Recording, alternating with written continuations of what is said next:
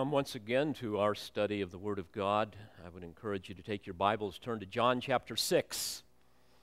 We will be in verses 22 through 40 this morning. The last time we were together, we looked at the previous verses that help us understand the marks of a true disciple, and now we will contrast that by examining the marks of a false disciple. Let me read the text to you, beginning in verse 22, John 6. The next day, the multitude that stood on the other side of the sea saw that there was no other small boat there except one, and that Jesus had not entered with his disciples into the boat, but that his disciples had gone away alone. There came other small boats from Tiberias near to the place where they ate the bread after the Lord had given thanks. When the multitude therefore saw that Jesus was not there, nor his disciples, they themselves got into the small boats and came to Capernaum seeking Jesus. And when they found him on the other side of the sea, they said to him, Rabbi, when did you get here? Jesus answered, answered them and said, Truly, truly, I say to you, you seek me, not because you saw signs, but because you ate of the loaves and were filled. Do not work for the food which perishes, but for the food which endures to eternal life, which the Son of Man shall give to you. For on him the Father, even God, has set his seal.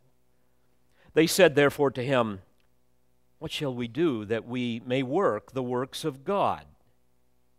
Jesus answered and said to them, This is the work of God that you believe in him whom he has sent. They said, therefore, to him, What then do you do for a sign that we may see and believe you? What work do you perform? Our fathers ate the manna in the wilderness. As it is written, He gave them bread out of heaven to eat. Jesus therefore said to them, Truly, truly, I say to you, it is not Moses who has given you the bread out of heaven, but it is my Father who gives you the true bread out of heaven. For the bread of God is that which comes down out of heaven and gives life to the world. They said therefore to him, Lord, evermore give us this bread. Jesus said to them, I am the bread of life. He who comes to me shall not hunger and he who believes in me shall never thirst. But I said to you that you have seen me, and yet do not believe. All that the Father gives me shall come to me, and the one who comes to me I will certainly not cast out. For I have come down from heaven, not to do my own will, but the will of him who sent me. And this is the will of him who sent me, that of all that he has given me, I lose nothing raise it up on the last day. For this is the will of my Father, that everyone who beholds the Son and believes in him may have eternal life. And I myself will raise him up on the last day. Today we are witnessing a fascinating phenomenon in our culture, one that is commonly called evangelical Christianity. It's really an amorphous term these days. It reminds me of the Federal Reserve, which is neither federal nor are there any reserves.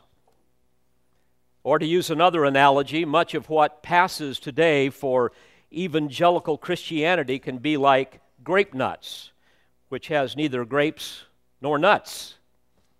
Likewise, much of what is called evangelical today does not proclaim the gospel of Christ as revealed in Scripture. Most people that call them evangelicals have no desire to really obey the will and word of God, and therefore they really have no basis to call themselves Christian. Today, if someone asks me, Are you an evangelical Christian? And occasionally I get that question, I will immediately ask them, Well, how do you define those two terms? Which, by the way, is always a great segue into a conversation for the sake of the gospel. I will say to them, If you are asking me, have you been born again and therefore believe that salvation is by grace alone, through faith alone, in Christ alone, and your sole authority for faith and practice is based upon the Scripture alone, resulting in a life dedicated to the glory of God alone, then the answer is yes. But if you are asking me if I believe the same way that the vast majority of megachurches on TV believe, or the vast majority of best selling authors in Christian bookstores believe, or the vast majority of Hollywood based, faith based productions believe, then the answer is no. Perhaps like no other time in redemptive history, it is important for us to ask the question what are some of the distinguishing marks of a true versus a false disciple?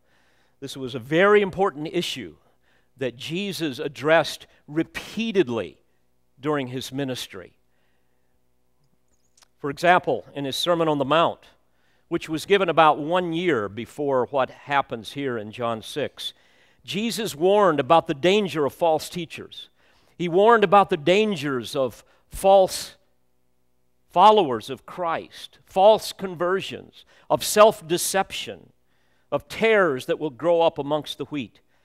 In fact, in Matthew 7, beginning in verse 15, he said, Beware of false prophets who come to you in sheep's clothing, but inwardly are ravenous wolves. In other words, they're going to be dressed up like a shepherd, they're going to look like a pastor, but they're not. He went on to say, You will recognize them by their fruits. He even went on to say, Not everyone who says to me, Lord, Lord, will enter the kingdom of heaven, but the one who does the will of my Father who is in heaven. That's the one that will enter the kingdom. There, Jesus described two ways that lead to heaven, or at least they say they lead to heaven. One is true, one is false. There is the narrow way and then the broad way. There are two gates, the narrow and the wide. He describes two destinations one that leads to eternal life and one that leads to eternal destruction. He describes two groups the few and the many. He describes two trees, one that produces good fruit, the other that produces bad. He describes two fruits, the good versus the bad. Two kinds of people who profess Christ Jesus, the sincere and the phony. There are two builders, the wise and the foolish, who build on two different foundations one of rock, the other of sand. And there are two houses that he describes one that is secure, the other that is insecure. So, this is a very serious issue. And you must ask yourself to which group do I belong? What are some of the distinguishing marks of false teachers, of false disciples? And again, in John 6, verses 16 through 21, the account of Jesus sending his weary disciples uh, into a storm to teach them and to test them, there we examine the marks of a true disciple. But now, in the remaining part of John 6, we see several, not all, but several marks of a false disciple.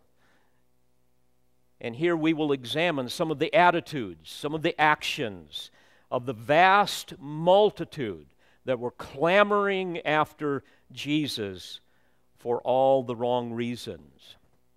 In fact, this will be the first mark of a false disciple that I will give you this morning. Here it is. They will be drawn to large crowds and yield to popular opinion. It is human nature to be intrigued by a large crowd hurrying in a particular direction, pursuing some specific goal. Crowds tend to produce kind of a herd mentality. There are people that literally study crowd hysteria that tends to suck people into a flow. Massive crowds will absorb people into kind of a universal entity. Individual thought personal responsibility can be abandoned as people become one with the mob. We've all seen this before. And we see this in religious circles. Where do most people want to attend church? Where there are thousands of people going and you need people to help park the cars and police out front to somehow steer the traffic, or to a small church? You go to the Christian bookstore. When you come in, what do you see? Well, you see the best seller section. Why? Because humans are drawn to what is popular, not necessarily what is true. As we study false disciples in the Bible as well as down through history, we see that many times they are like lemmings walking over a cliff. They will jettison common sense and reason to go along with the flow, to go along with popular opinion, and they will mindlessly march to destruction. This is what Jesus warned in Matthew 7. There is a wide gate, there is a broad way where the many will travel, and it leads to destruction. Now, false teachers understand this phenomena, and they will do everything they can to somehow attract big crowds, to suck people in. They will recreate, or at least try to recreate, what Jesus did to attract the masses.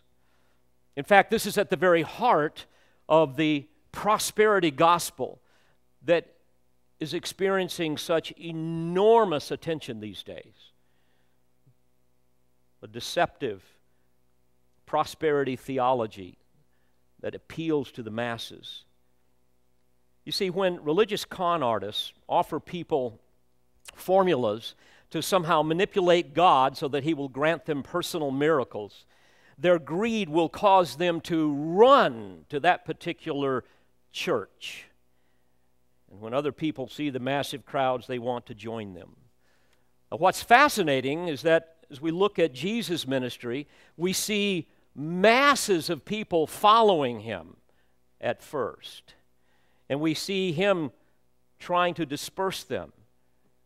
He tries to avoid them, and he eventually offends them to the point where they call for his execution. And as we will see, when selfish crowds do not receive what they foolishly crave, they will eventually disappear. As we look at the crowd here, in John 6, we will see that they love Jesus because of his works, but they eventually will kill him because of his words. So let's transport ourselves back to the Sea of Galilee once again, where approximately 20,000 Jewish people have, uh, that, that are filled with nationalistic zeal, wanting to see Rome destroyed, people that are craving to see and perhaps even experience another miracle from Jesus. They are all there. They've heard Jesus teach them many things about the kingdom. It's not what they wanted to hear, but they were willing to endure the sermon so that they could see what he was going to do for them.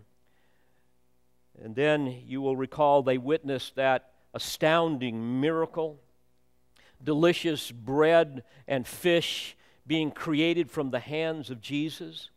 Not all at once, but continuously over several hours as he walked through the seated groups. Don't you know that was the best bread they had ever eaten? The best fish? I'm sure it was gluten free. I'm sure it didn't have any preservatives. Whole Foods would have been very jealous to have tasted it. Can you imagine what was going through their minds? Look at this. It just keeps coming. And can you imagine what had gone through the minds of those dear disciples who just minutes before were all frustrated about what are we going to do to feed these people? Don't you know they were saying something like this Guys, the kingdom is here. Can you believe this? The Messiah is here. We've just finished that grueling season of ministry where, where, where we've, we've experienced such such anger and such rebellion where we've had to shake the dust off of our, off of our garments and off of our feet and pronounce, pronounce judgment on those who will not believe, but no more. Look at this. Jesus has the people eating out of his hands, literally. No doubt Judas was licking his chops, ready to cash in on Jesus. But then, as you will recall, to their dismay, what does Jesus do? He makes his fatigued disciples get back into their little boat in the evening and he sends them into what would be potentially treacherous waters to make their way back to Capernaum via Bethsaida while Jesus sends the crowd away. He disperses the crowd and he gets away alone to commune with his Father and to pray. You will recall the story. The disciples almost perish in the terrible storm. Jesus appears, he calms the storm. Instantly, they are on the shore of Capernaum. They are exhausted, but oh, their strength was much, or their faith was much stronger now, having gone through what they just experienced. So now John takes us back across the, the sea to the east side, to the Golan Heights, as we call it today, where the multitude had been bedded down for the night. They are, are now awake. As we study the gospel accounts, they're, they're looking for Jesus. They're, they're, they're looking for breakfast, after all. They had had such a great meal before. They're looking for breakfast. They're motivated, as we will understand, by selfishness, by, by materialistic greed, and they're ready to carry out their plan to make Jesus king. So they begin looking for him. We pick it up at verse 22. The next day, the multitude that stood on the other side of the sea saw that there was no other small boat there except one and that Jesus had not entered with his disciples into the boat, but that his disciples had gone away alone. In other words, they realized that the only boat that had been there was the ones that the disciples had boarded the night before without Jesus. So the big question is where's Jesus? Verse 23 There came other small boats from Tiberias near to the place where they ate the bread after the Lord had given thanks. Now, there's no explanation as to why these boats came all the way from the other, from the, from the uh, west side to the east, or I should say from the the yeah from the west side to the east. That we don't uh, we don't know why they did this. Maybe they were entrepreneurs looking for a way to to make a little bit of cash to take people back. Maybe they too were looking to see what was going on. Maybe they had been uh, in the storm the night before and had been driven over to that side. We don't know. Verse 24 When the multitude, therefore, saw that Jesus was not there, nor his disciples, they themselves got into the small boats and came to Capernaum seeking Jesus. You say, why Capernaum? Well, this is the place where Jesus was temporarily residing, and this was also the location of the synagogue where he would teach, the ruins of which you can go see to this very day. Verse 25 And when they found him on the other side of the sea, they said to him, Rabbi, when did you get here? Now it's really interesting. Jesus does not answer their question. You see, telling them that he had walked on water and calmed the storm would do nothing more than fuel their misguided zeal to make him king so that he could serve them, because that's their mindset. Knowing they wanted temporal rather than spiritual blessings, he exposes their motives. Verse 26 Jesus answered them and said, Truly, truly, I say to you, you seek me, not because you saw signs, but because you ate of the loaves and were filled. In other words, they were motivated by their bellies, not by their conscience aware of their sin and their need for reconciliation to a holy God. As we will see, they failed to see the significance of the sign that they had witnessed when Jesus fed them. In fact, Mark indicates that even the 12, quote, did not understand about the loaves, but their hearts were hardened. In other words, even the disciples failed to realize that the sign pointed to Jesus himself, the long awaited Messiah of prophecy, the Son of God, the true bread of life that had come down from heaven. And in harmony with the Old Testament prophets, they failed to see the spiritual basis for his kingdom. That the supreme requirement of a citizen of the kingdom is that they must love the Lord their God with every fiber of their being, with no reservation, nor any division of allegiance. But their self interest had blinded them to all of these truths. Instead of falling down and worshiping Him, they wanted to use Him to serve them. This is the second mark of a false disciple. They will agree to crown Jesus king as long as he serves them. You see, false disciples will clamor after Jesus to make them their king. But in their heart, they will dispute the nature of his reign. For them, following Jesus is all about self fulfillment, not self denial. It's about superficial worship, religious pretenses, being a Christ follower as long as it suits their purpose. I mean, think about it. Instead of prostrating themselves in humble adoration and the fear of the Lord, they wanted him to meet their temporal and physical needs. And Jesus, in his omniscience, sees that in their heart. Now, I, I want to make this clear. The discourse which follows, where Jesus identifies himself as the true bread of life that comes down from heaven, doesn't mitigate the importance of physical matters, of physical needs. For indeed, we, we need this to, to live. But rather, it underscores the supremacy of spiritual matters over everything else. This is the quintessential basis for the kingdom of Messiah. Spiritual demands that result in spiritual blessings. They didn't see any of this, nor do many people see it today who call Jesus Lord. But as we will see, these false disciples will have none of this. In fact, later on in verse 66, we read, As a result of this, many of his disciples withdrew and were not walking with him anymore.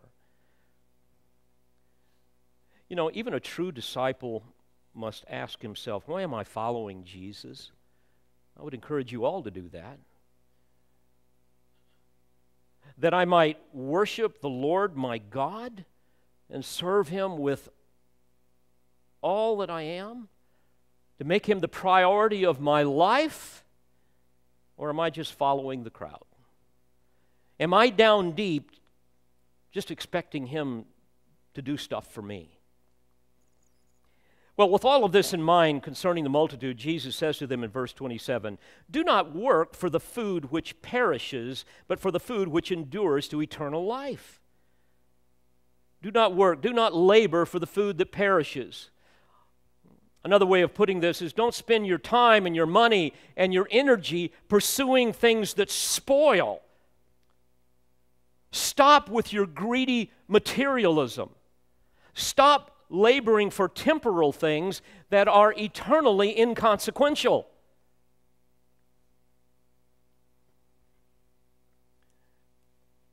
He goes on then and he says, For the food that which work for the food which endures to eternal life, which the Son of Man shall give to you. For on him the Father, even God, has set his seal. In other words, he's saying this Pursue me. Pursue me, not your self interests. And this will be the crux of his continuing discourse. This brings us to the third mark of a false disciple. They will follow Christ for the purpose of material and physical gain. They will follow Christ for the purpose of material and physical gain.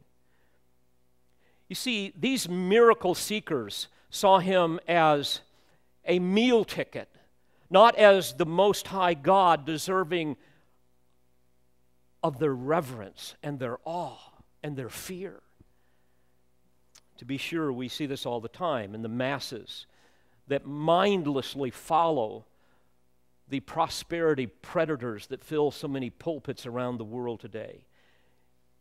People that have been deceived into thinking that God is basically this, this benevolent, happy Santa Claus who exists to somehow make them healthy and wealthy. You go to their services and you experience a party atmosphere, which betrays their low view of God, which, by the way, is a radical departure from men's encounter with God that we see in Scripture. Where they come into the presence of God and they are so overwhelmed with sheer terror and fear at the sight of His holiness that God has to comfort them and rescue them or they would die. But this is indicative of false disciples. They follow Christ for the purpose of material and physical gain. You know, I need to add that we see this as well with many professing Christians who despise prosperity theology. We can see this in people who would never be caught dead in a Joyce Meyer or a Joel Osteen type service but yet are equally guilty of pursuing personal prosperity rather than Christ, although they would never admit it. Let me ask you how do you spend your time? How do you spend your money? Serving Christ or serving self? Is your life really all about you or all about Christ? And you're always coming to Christ wanting more.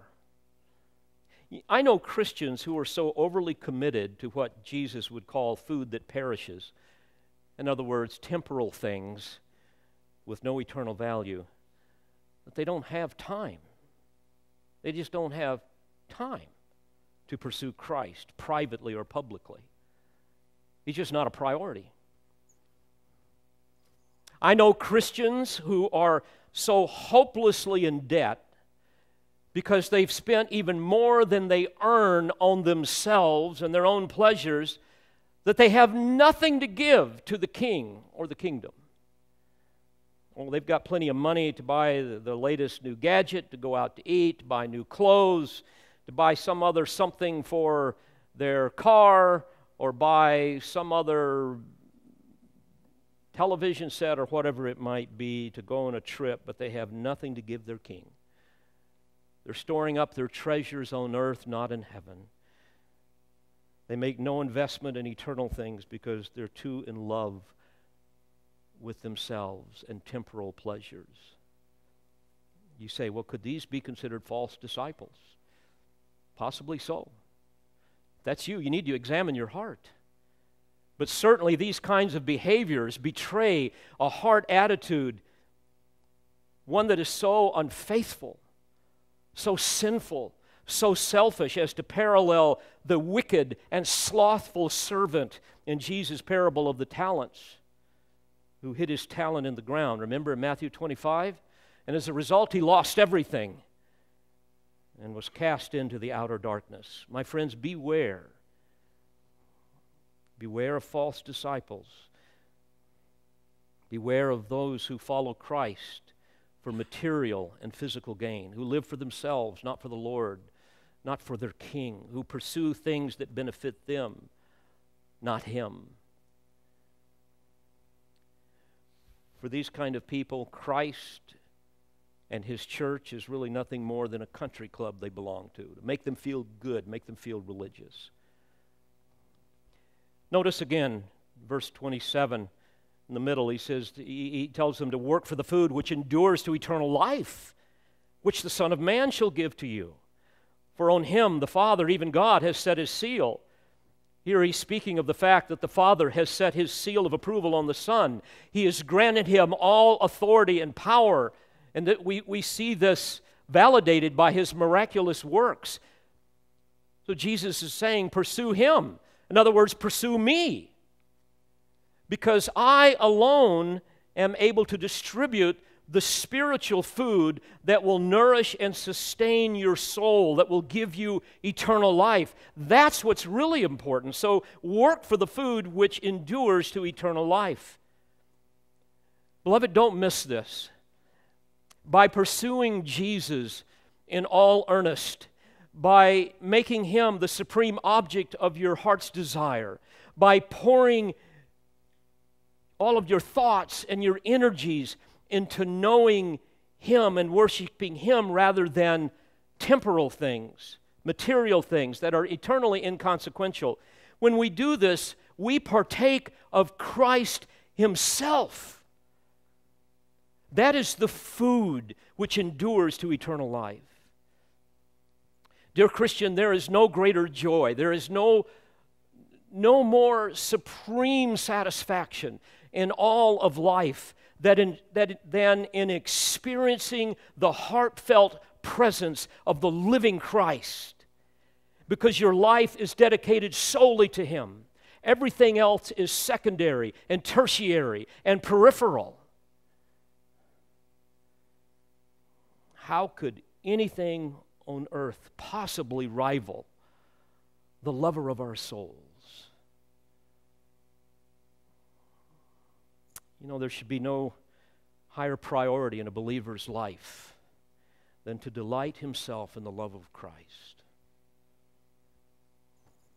Asaph, the eminent singer of Israel, the chief musician of Israel, said this in Psalm 73 beginning in verse 25 Whom have I in heaven but thee?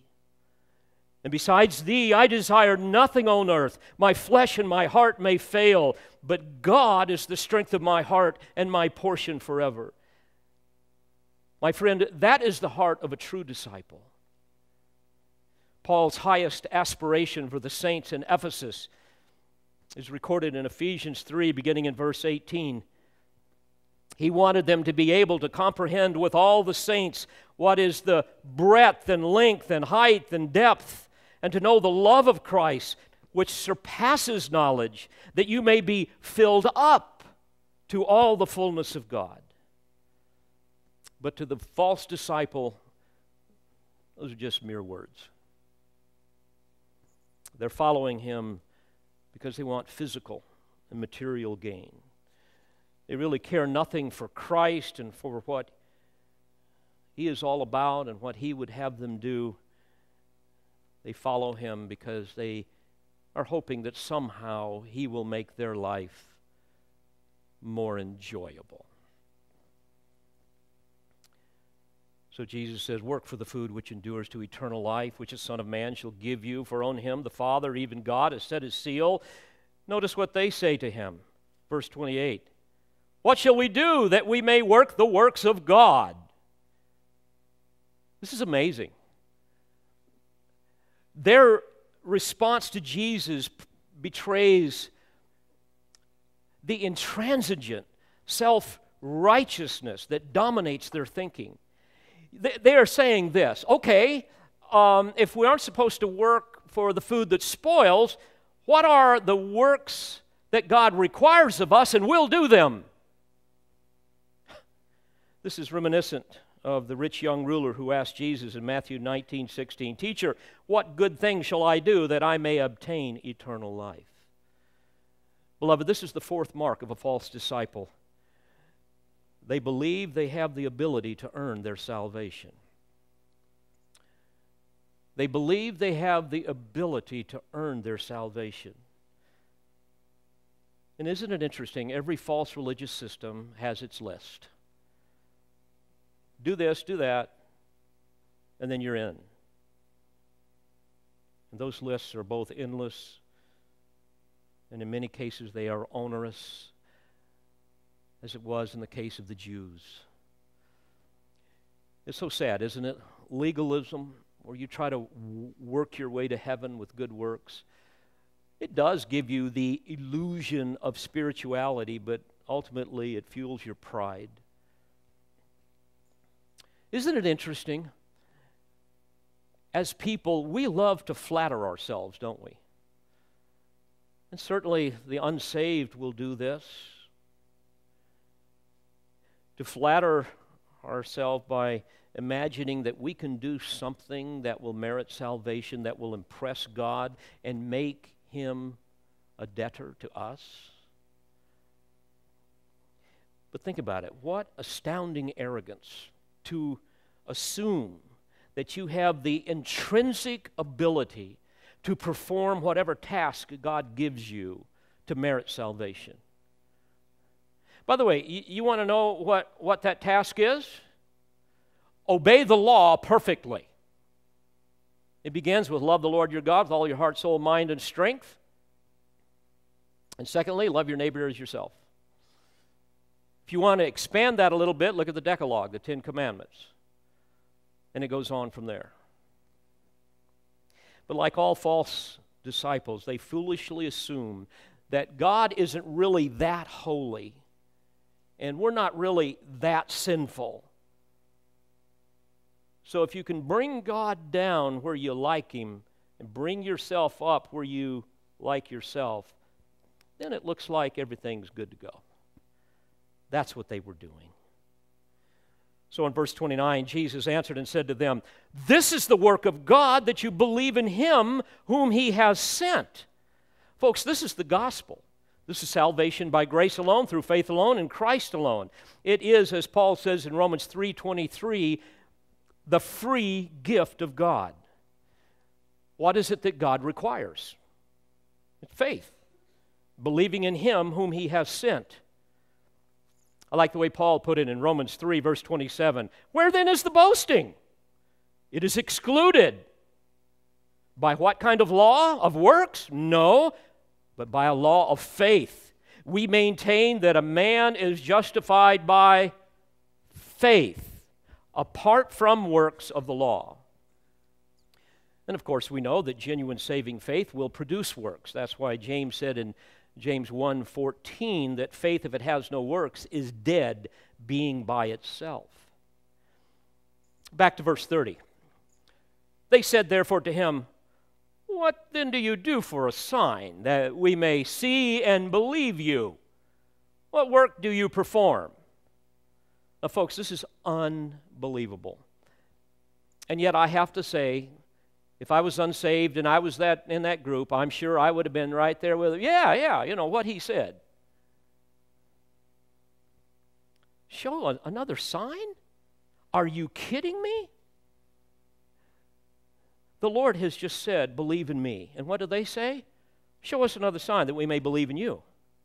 Now, let's stop and think about it. Just the day before, they witnessed Jesus creating the food. By the way, I figured roughly 20,000 people, let's just say one pound of food per person. Now, I know for some of you that's not much, okay, but one pound per, per that's 20,000 pounds. That's nine metric tons. Being an old horseman, I think of it in terms of horses. That's basically 20 horses. They see him make all of that food and they eat it, and they want another sign. In fact, in chapter 6 here in verse 2, we read, Then a great multitude was following him. Why? Because they were seeing the signs he was performing. If you look back and see what they saw, they saw the, him cause the lame to walk, the blind to see, the deaf to hear. He raised the dead, he cast out demons. And you want us another sign? What an example of the power of unbelief and the depravity of the human heart.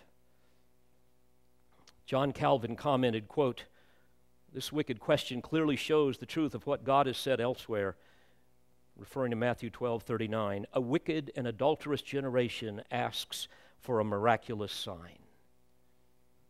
Now, notice their, their, their depraved and foolish thinking in verse 31.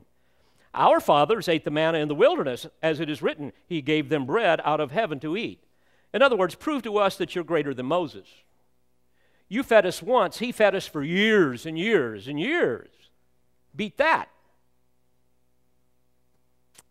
Jesus then gets very assertive and he rebukes them in verse 32.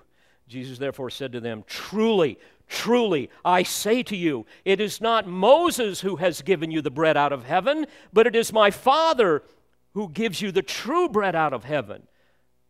By the way, notice the Father who gives, present tense. He is currently giving. He's giving it to you right now. The true, the genuine bread out of heaven, referring to Himself, the bread of life. Verse 33 For the bread of God is that which comes down out of heaven and gives life to the world. This term life, Zoe, in the original language, in John's gospel, whenever he uses it, it speaks of spiritual and eternal life that can only come through Jesus Christ. By contrast, think about it the, the manna would, would perish after a short period of time, and so too the people that ate it. But not so the life that is granted and sustained by the bread of life, the Lord Jesus Christ. Well, they still don't get it.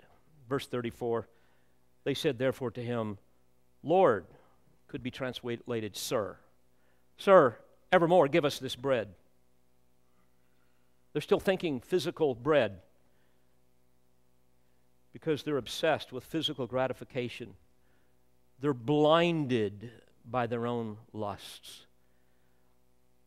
Like the woman at the well when she said to Jesus in chapter 4, verse 14, or verse 15, Sir, Give me this water so I will not be thirsty nor come all the way here to draw. Same type of mindset. Once again, we see how false disciples tend to follow Christ for the purpose of material and physical gain, which causes them to completely miss the magnificent truths of saving grace. They're, convinced that somehow they can merit salvation by their own works so, believing in Jesus, in other words, trusting and worshiping and, and, obeying Him, is not what is important. What is important is material and physical gain. Show us some more signs. Translated into, how about another meal? Give us this physical bread from now on. Keep it up. Then we'll believe in you. We, we don't want or need spiritual food and eternal life. We're good on that. I mean, we're, we're righteous, we obey the law. We want material and physical prosperity. We don't want another sermon, we want another meal. That's the point. This brings us to the fifth mark of a false disciple. They will be indifferent or hostile to gospel preaching. They will be indifferent or hostile to gospel preaching. Reminds me of what Luke said, or Jesus said in Luke 16 31. If they do not listen to Moses and the prophets, neither will they be persuaded if someone rises from the dead. It's so true, isn't it, what Paul said in 1 Corinthians 2 14? A natural man does not accept the things of the Spirit of God they are foolishness to him, and he can't understand them because he's spiritually appraised. He has no capacity to discern spiritual truth because he is spiritually dead. And unless God does something, he will remain that way. I find it fascinating to see how clever Satan is in capitalizing on this unique aspect of human depravity. Isn't it interesting how he raises up men and women who will come along and offer the masses a perverted gospel of cheap grace and easy believism? Just kind of say a little prayer, walk a little aisle, then you're good to go for eternity. Add Jesus to the rest of your life, get that ticket punched, or come to Jesus so that you can see how you can have private miracles and personal prosperity. For many, their entire theology and every ministry of their so called church is focused on accommodating the felt needs and desires of their consumers. They draw massive crowds, which in and of itself draws more people. Men and women by the thousands will push and shove to get in to hear their favorite guru and learn how to cash in on Christ. Masses who really care little about Christ, who know nothing of really worshiping Him, who know nothing really of the true gospel. They won't have that. But they are convinced that somehow He exists for one primary reason, and that is to give them what they want.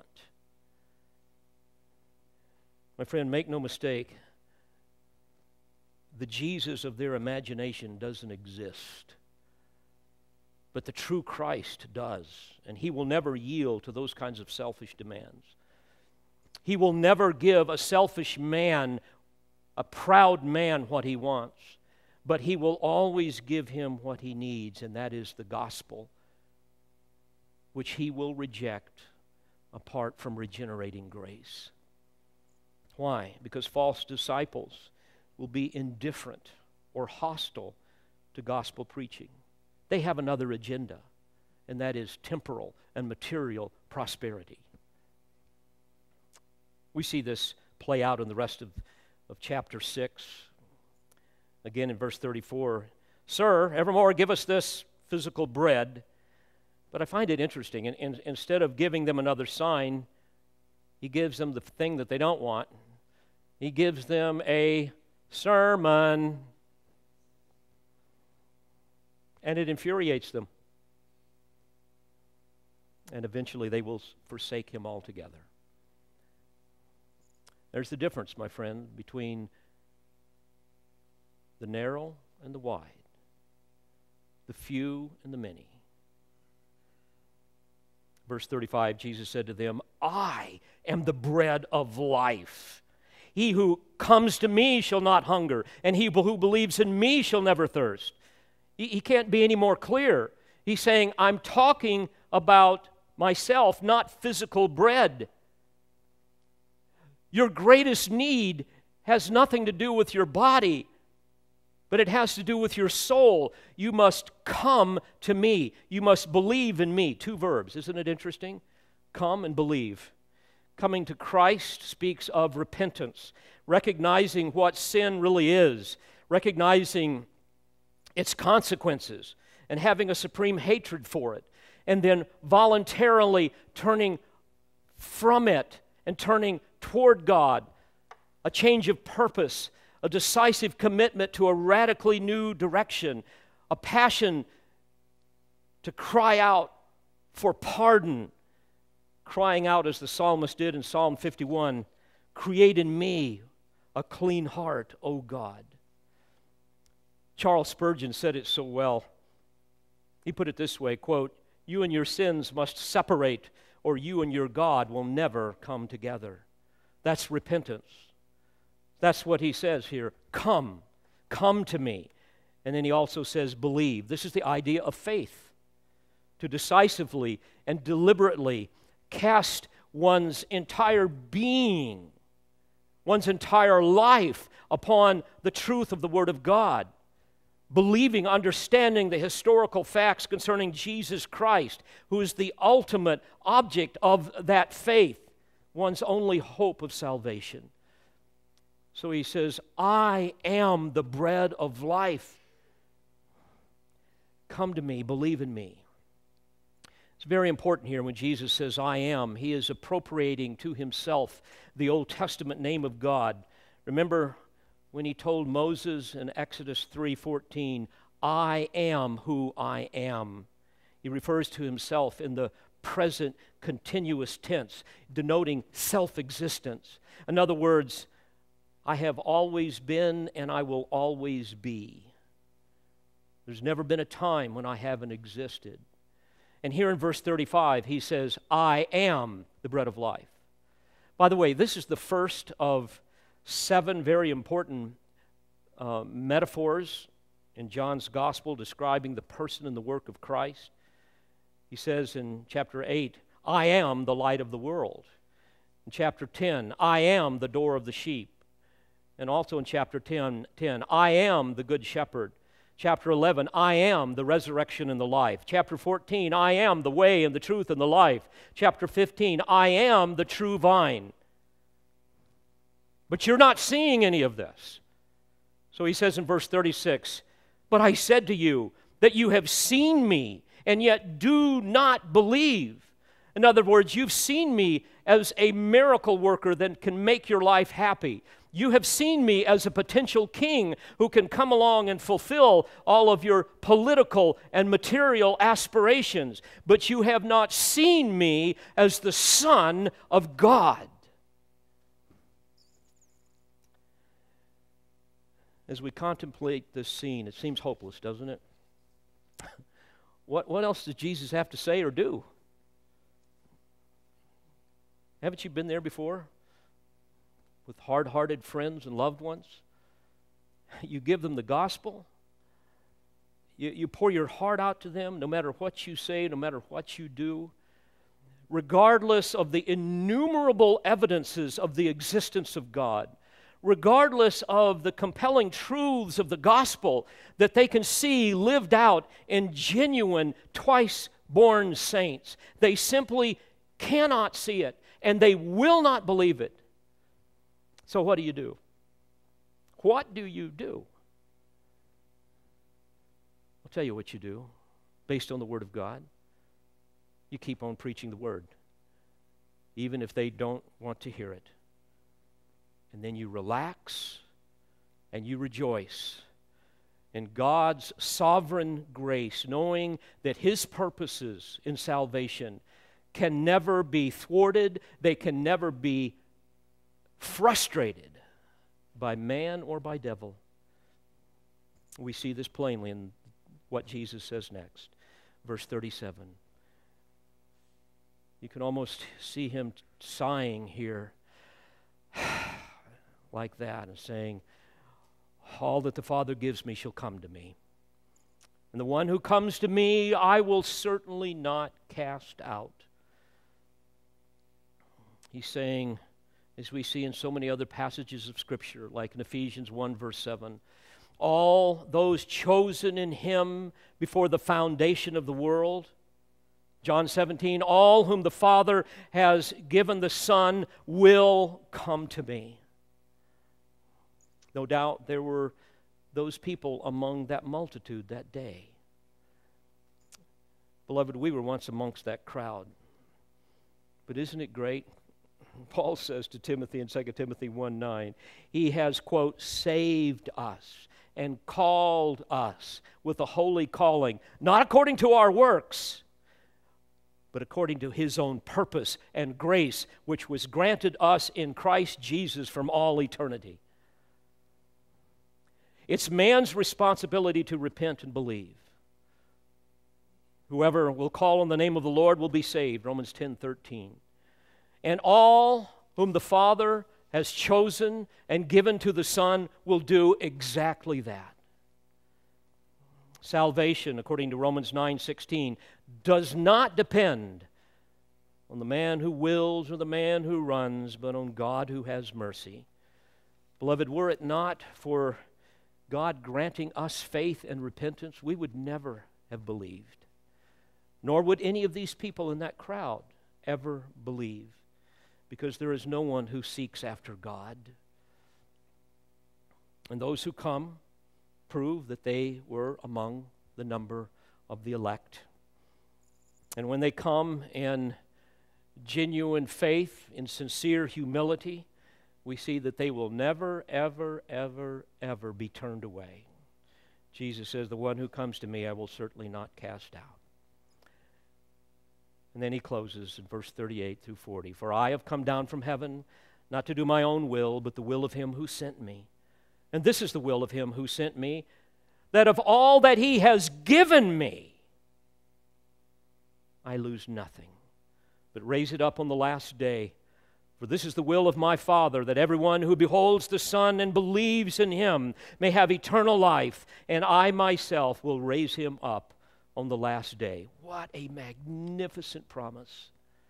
A.W. Pink put it this way eternal predestination guarantees eternal preservation. I love that.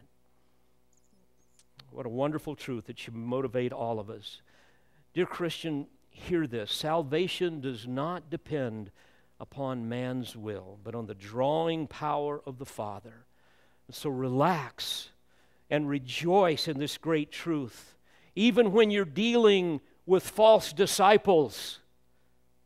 Who will be drawn to large crowds and yield to popular opinion, who will agree to crown Jesus king as long as he serves them, who will follow Christ for the purpose of material and physical gain, who will believe they have the ability to earn their salvation, but who will be indifferent or hostile to gospel preaching. Know this that God, in His mercy and in His grace and in His power, can break through all of that stubbornness and transform them into new creatures as He did you and as He did me. And if that is not true of you today, I pray that today you will understand your need for the Savior and that you will cry out to Him to save you before it's too late. May God have mercy on your soul. We pray you've been edified by this presentation. You've been listening to pastor, Bible teacher, and author Dr. David Harrell. For more information or for other messages from Dr. Harrell, please visit the Olive Tree Christian Resources website at otcr.org.